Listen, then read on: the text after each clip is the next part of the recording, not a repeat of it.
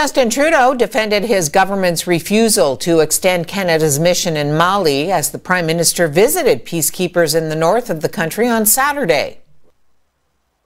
Uh, we are very much working with uh, the United Nations to ensure that the transition happens smoothly, uh, and we are confident, we are hearing from the, the UN that there isn't uh, real concern about that gap being a problem. Uh, we are we are very much focused on delivering uh, the absolute best support that we can uh, as as we do, and we're we're going to continue that. We will work with our partners to make sure uh, that the transition happens smoothly as it uh, as it must. The Northland Barbershop Chorus of Sault Ste. Marie serenaded last minute holiday shoppers near the food court at the Station Mall on Saturday. The event has been going on annually as long as many of the chorus members have been involved. No one actually knows the exact number of years, just that it's been well over 20. And it's one of the ways they collect donations for the Salvation Army. Northland Barbershop Chorus President Folgo Della Vedova said singing in the mall for Christmas is not only an opportunity to practice,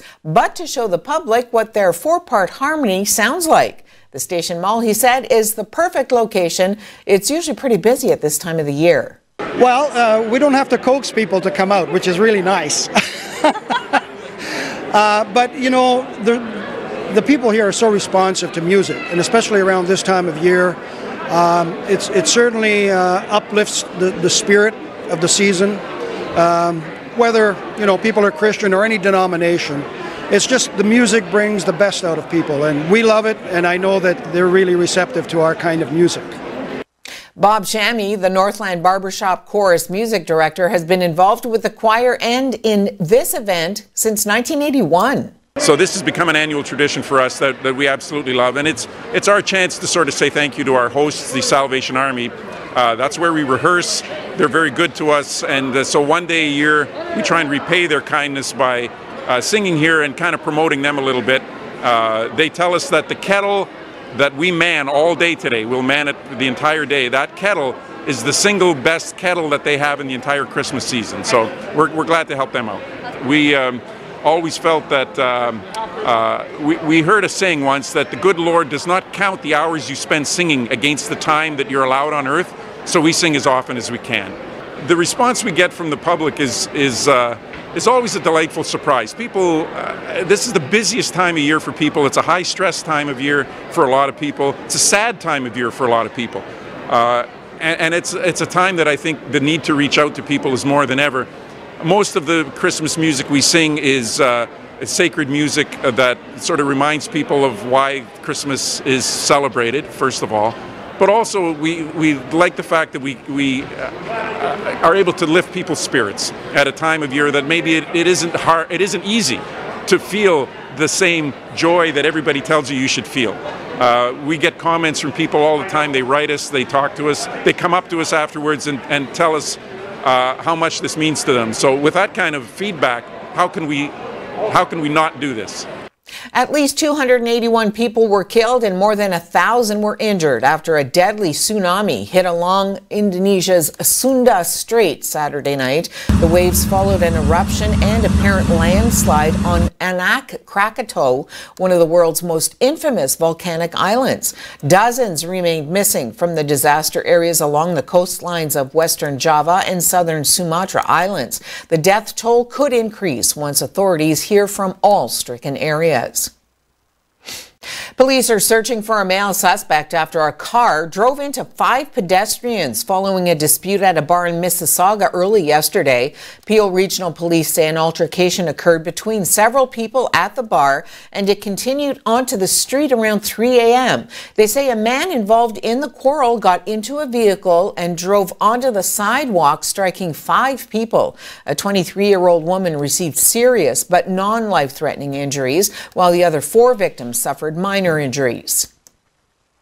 Why won't you extend the mission by just a couple of months to make sure that there's not a gap before the Romanians arrive? Uh, we are very much working with uh, the United Nations to ensure that the transition happens smoothly, uh, and we are confident, we are hearing from the, the UN that there isn't uh, real concern about that gap being a problem. Uh, we are we are very much focused on delivering uh, the absolute best support that we can uh, as as we do, and we're we're going to continue that. We will work with our partners to make sure uh, that the transition happens smoothly as it uh, as it must. You've only done five uh, medevacs uh, here, e- even though the level of violence in the country overall is rising. Do you think maybe you guys are in the wrong place? Abs- absolutely not. Uh, so this is uh, this is a mission that badly needs Canada's help. Quite honestly, from my point of view, um, you know the medevac side it also guarantees maneuver. So the confidence to drive on the roads here is guaranteed by the fact that someone knows they're kind of someone's coming to get them. So you know the way I characterize it to my soldiers every day is that we are the cavalry. Something bad happens, I'm coming to help you. And so uh, the radius of action that we have is quite large as well. It's 125 nautical miles. So we can get our, our aircraft out to you if you were hurt. Uh, and that level of confidence to be able to patrol here is what's needed, quite honestly, for a lot of the two contributing countries.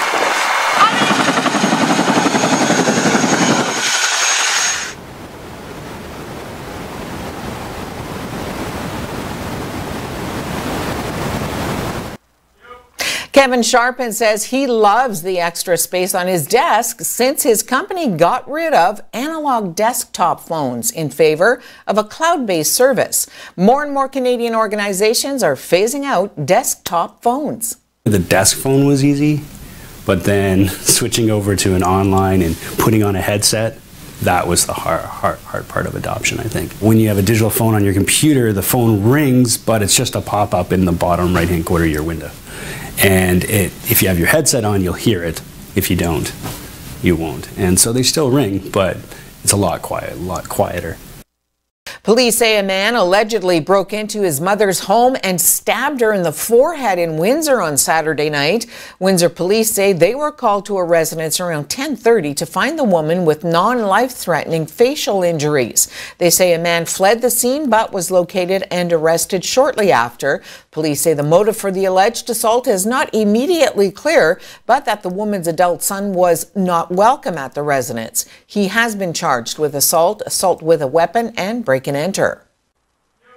The Thunderbirds concluded their year 2018 with a win on Friday night as they defeated the Express by a score of 4 1 at the Espanola Regional Recreation Complex.